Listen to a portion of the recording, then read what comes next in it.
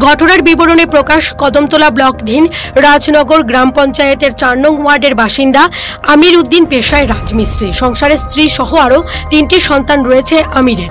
গত ২৬ তারিখ দুপুর থেকে আমির তার বাড়িতে স্ত্রীর সাথে ঝগড়া করছিল, এমনটাই প্রত্যক্ষ করেন আশপাশের লোকজনরা। একসময় বাঘ বিতনরা চরম আকার ধারণ করলে আমির তার স্ত্রীকে ঘরের খুঁটির সাথে বেঁধে কেরোসিন ঢেলে শরীরে আগুন ধরিয়ে দেয়। ঘটনাটি প্রথমে পাড়া প্রতিবেশী প্রত্যক্ষ করে গ্রামের প্রধান ও উপপ্রধানকে খবর দেয়। ঘটনাস্থলে গ্রামের প্রধান উপপ্রধান উপস্থিত হয়। অগ্নিদগ্ধ গৃহবধূর অবস্থা বেগতিক দেখে সবাই খবর দেন প্রেমতলা দমকল অফিসের কর্মীদের। সঙ্গে ফোন করা হয় ওয়ান জিরো টু অ্যাম্বুলেন্সকেও। ঘটনাস্থল থেকে দমকল কর্মীরা গুরুতরভাবে আহত সালেমা বেগমকে নিয়ে আসেন কদমতলা গ্রামীণ হাসপাতালে। সেখানে কর্তব্যরত চিকিৎসক ডক্টর সন্দীপ দেব সালমার অবস্থা বেগতিক দেখে ওয়ান জিরো টু নাম্বারে অ্যাম্বুলেন্স দিয়ে ধর্মনগর জেলা হাসপাতালে পাঠিয়ে দেন। তবে আশ্চর্যের বিষয়, অগ্নিদগ্ধ গৃহবধূর পরিবারের কেউ দেখতে আসেননি হাসপাতালে। অগ্নিদগ্ধ গৃহবধূর ওষুধপত্র থেকে ধরে সম্পূর্ণ খরচ নিজ পকেট থেকে খরচ করেছেন গ্রামের প্রধান গোপাল দাস। খবর পেয়ে কদমতলা থানার পুলিশ ঘটনাস্থলে উপস্থিত হয়, তদন্ত শুরু করে দেয়। ততক্ষণে অভিযুক্ত আমির উদ্দিন গা ঢাকা দিতে সক্ষম হয়। তদন্ত নেমে কদমতলা থানার এসআই বুদ্ধিমান দেববর্মা, এসআই বিকাশ দাস সহ একদল পুলিশ আমিরকে ধরার চেষ্টা চালায়।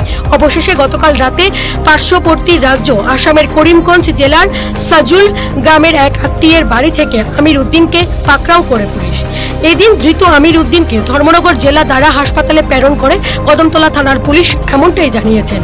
কদমতলা থানার ওসি কৃষ্ণধন সরকার। এটা তো ছাব্বিশ তারিখ, ছাব্বিশ তিন দুই হাজার একুশ মানে গত এই মাসেরই ছাব্বিশ তারিখ। আমাদের থানা এলাকাতে, বিশেষ করে ওই ইয়েতে রাজনগর ওয়ার্ড নম্বর তিনে, সালমা বেগম বলে একটা মহিলা যেটাকে গায়ে আগুন লাগিয়ে দিয়েছিল যে আসামি যে আমিরুদ্দিন ওর হাজবেন্ড আগুন লাগিয়ে দিয়েছিল একটা খুঁটির সঙ্গে বেঁধে আগুন লাগিয়ে দিয়েছিল।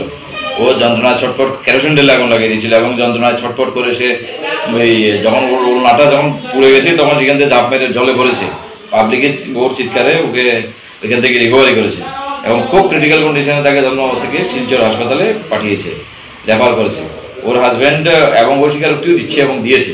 ওর হাজব্যান্ড এখান থেকে পালিয়েছে সঙ্গে সঙ্গে। আমরা কয়েকবার চেষ্টা করেছিলাম।